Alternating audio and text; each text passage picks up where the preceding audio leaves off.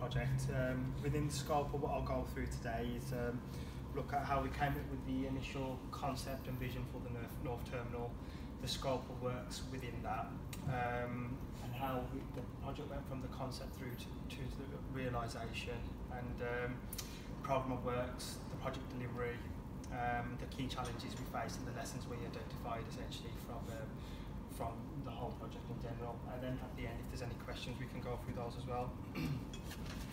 so. Um,